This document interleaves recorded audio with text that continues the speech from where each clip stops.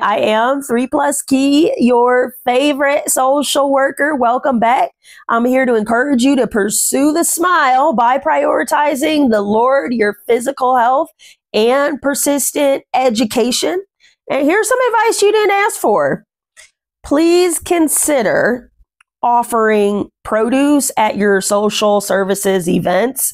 Most recently, I was facilitating a social services group, and one of the volunteers said, Kei, you always serve sweets and baked goods and you pass out candy to the kids, but our clients are in crisis, and the way the body metabolizes sugars and these types of carbs is not helpful to um, their body's processes and functioning.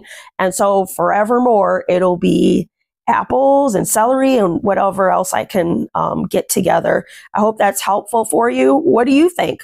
Subscribe if you would like more content.